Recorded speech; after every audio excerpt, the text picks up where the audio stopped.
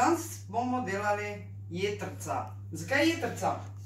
Uh, jetrca so zadnjem cajti, sploh ne znam v kulinariki, face, face, face zapostavljeno. Sploh vsa drobovina in uh, pri nas doma jih pa obožujemo. Sploh moj mož, tako kot si veste z Masterchefa. V glavnem, kaj se jetrc tiče, uh, jetrca so en veliki, veliki, veliki vir beljakovin. Uh, poleg tega, ko so veliki vir beljakovin, so tudi veliki vir vitaminov pa mineralov. Ogromno imajo železa, da če ste slabokrvni, jejte jetrca. Pa ogromno imajo vitamina D, sploh po zimi to prije zelo prav, krvnega sunca, ne? In pa veliko vitamina K, tako da uh, jejte jetrca. Zdaj, kera so najboljša? Piščančja, svinska, telečja. Meni osebno telečja, danes pa bomo delali z svinskimi. In uh, z tega razloga, ker sem pač to te v mesnici dobila. Uh, ne bomo delali pražena jetrca, ampak malo bolj posebna, malo na moj način. Tako da, gremo gledati. Najprej bomo prepražili čebulo.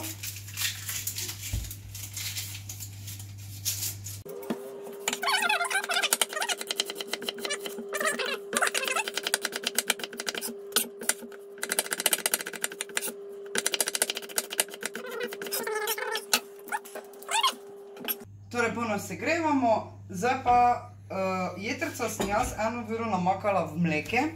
Zakaj? Zaradi tega, ker če jih namakamo vse malo v mleke, bojo one ful mehke. In to bomo odcedile.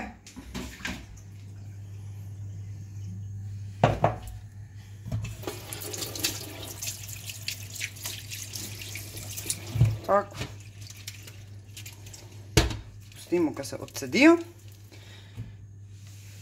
V totem cajte je polno segreta in dodam olje.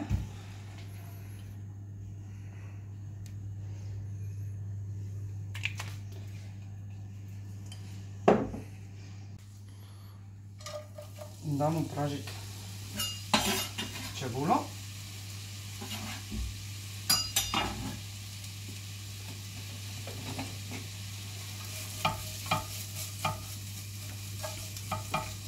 Čebulo prepražimo toliko, ko se zmehča.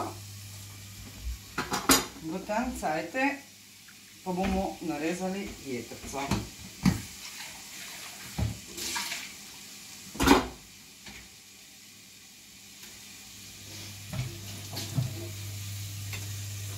Jaz jih bom narezala na šnite, tak približno slab centimeter debele, ker ne bom delali pražena jetrca, ampak bojo tako zrezki.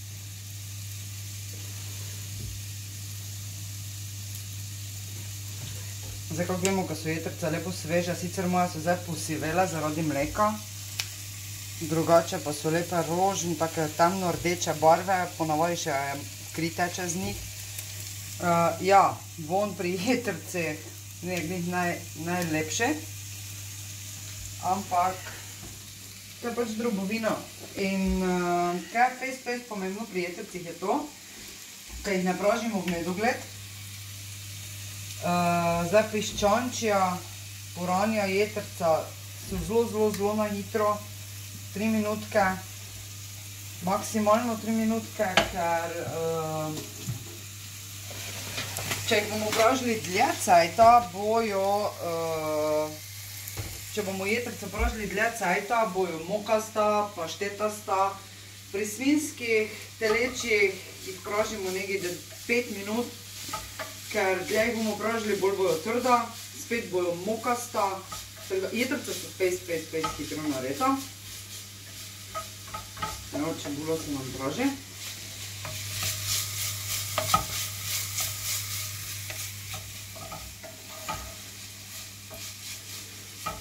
Zdaj vsi tisti, kjeri ne marate jetrc praženih čebulo, pa tistega okusa po železi, pa ne vem čem vse, ne, je toto varianta face, face, face dobra, ker v bistvu moj mož reče, sploh ne veš, kaj jetrce ješ. Tako da mi jih bomo danes delali z vinčkom pa z medom. In z začimbami iz začimbe.si.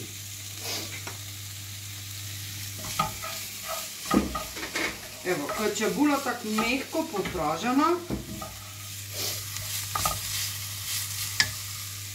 jo odstavimo.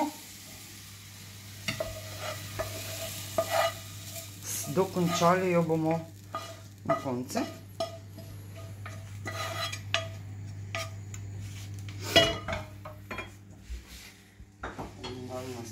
Zdaj bomo dodali še malo olja. Jaz uporabljam oljčno.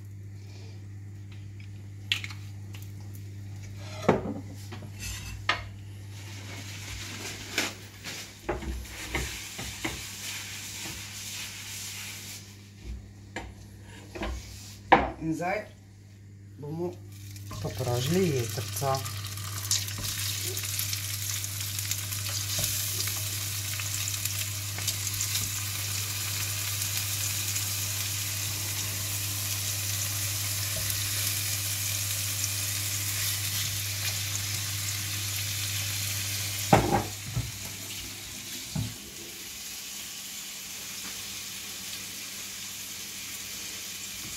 Solimo, zelo pomembno, ne solimo pa popramo že zdaj, ampak na koncu, ko jih odstavimo. Zakaj? Ker če bomo zdaj posolili pa popoprali, do jetra trda, žvečljiva, taka čigume. Zdaj bomo samo začinili. Jaz bom dodala v jetrca šetrej. Šetrej je začimba, ki ful lepo paše k mesi. Uh, ima pozitivne učinke na prebavo, na prebavni sistem, uh, če ste napeti ali kaj takega, izredno dobro. Ful dobro se poda tudi, kako mi pižoli ali kaj. Glavnem, uh, jaz bom dodala malo še traja. Timijan v prahu, mleti timijan. Uh, zakaj meni je timijan ima ful dober okus in na jetrcah mi še bolj povdarja tisti okus po jetrcah, ga naredim malo bolj sladkega in mi bomo delali bolj sladko varianto jetrc. Tak, zdaj, ko začne jetrca odstopati, jih lepo obrnemo. V tem primeri bom jaz dala, ker imamo mi radi šarc, en ščepec kajenskega popra, res ščepec, lih toliko, da dobi okus in uh, da malenko zapeče, ne, pre, ne fejst. Uh, zdaj pa fejst pomembna stvar. Med.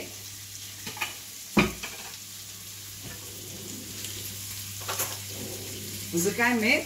Ker bomo delali uh, karamelizirano jetrca z medom. Ena žlička medu.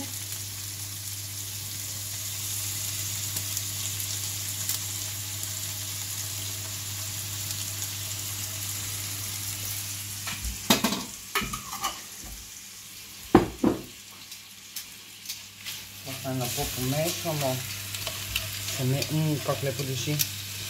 Zdaj, ko se med dobi tisti svoj von.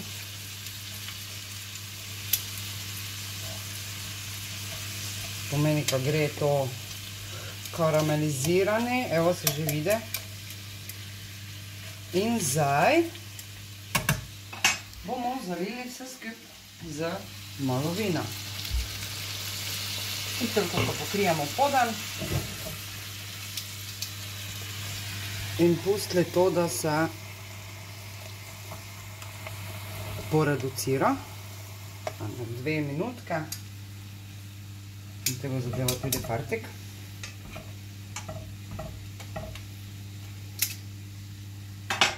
Jaz bom dodala še malo luštreka za okus. Jaz obožujem začimbe. Ne preveč, ampak ni toliko, da se fajn čute. Tak, to bomo zdaj pokuhali, zreducirali. Te pa gremo naprej. Prožili nekje 5 minut, 5-6, zdaj jih bomo odstranili.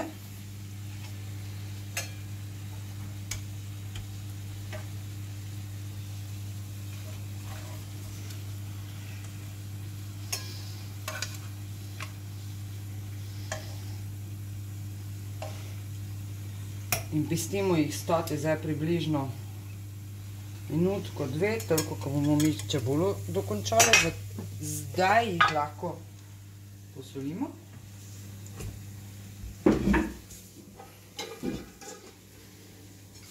In v vso to zadevo bomo zdaj dali dve žličke sladkorja.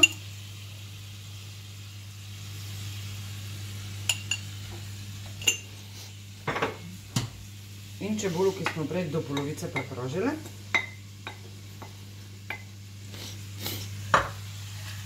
In zdaj bomo pustili, da se zadeva skaramelizira.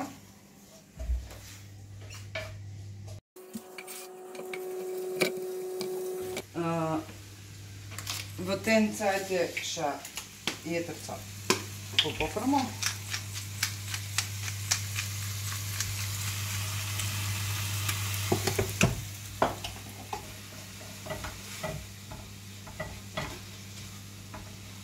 Zdaj vemo, ker če je bula karamelizirana, se vidi, ker začne ratovati taka, zadiši po karamele, začne se lepiti, tako da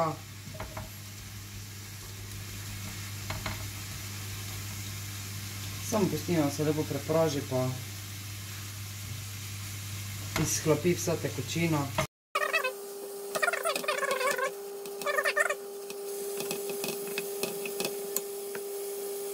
To se je skaramelizirala. Vidi se, kaj se vleče samo v sebe, kaj se lepi skup. Tako da jo ugasnemo in zdaj bomo servirali. Ajde, jetrca imamo, zdaj pa to treba še vse skupaj na krožnik spraviti.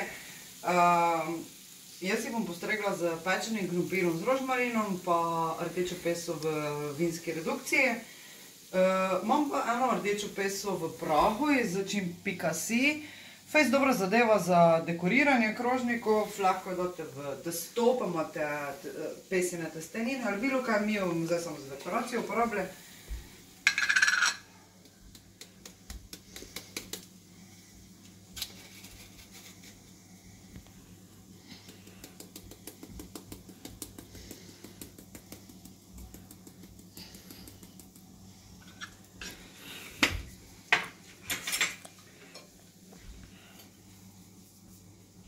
Še jetrca.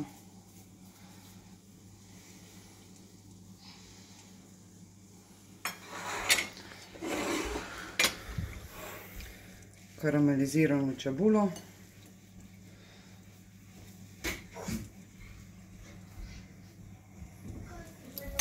Evo. In krompir.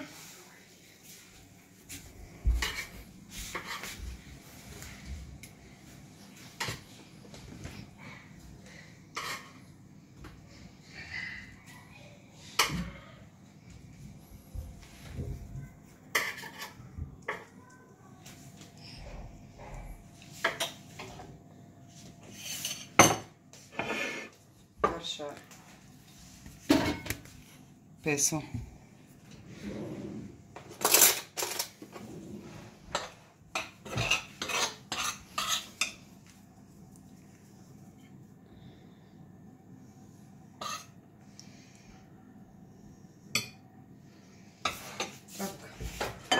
Damo še malo svežega petršilja.